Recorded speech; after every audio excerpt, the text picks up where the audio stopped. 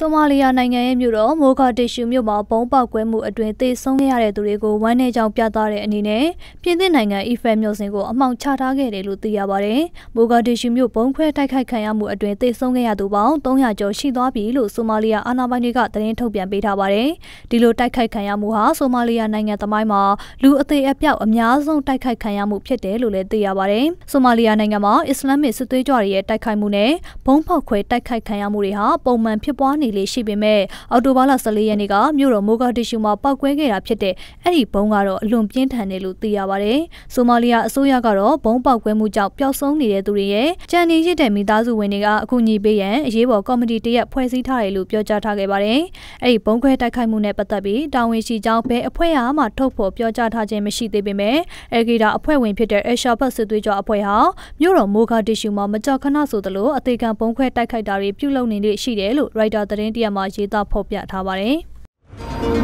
။